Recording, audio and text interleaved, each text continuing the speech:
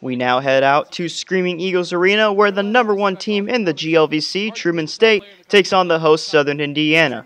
We begin this matchup with junior Emmanuel Little using the pump fake effectively and driving to the hole, finishing through contact to score the first bucket of the game.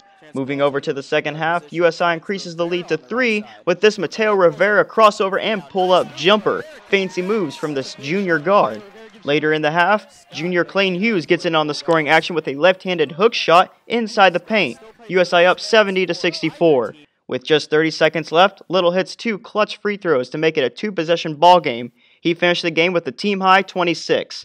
But the Bulldogs wouldn't be kept on a leash as they try to come back and send it to overtime but a good defensive attack from the Eagles sends Truman State packing. Keeping the lead all game, USI pulls off a 79-76 victory over the Truman State Bulldogs.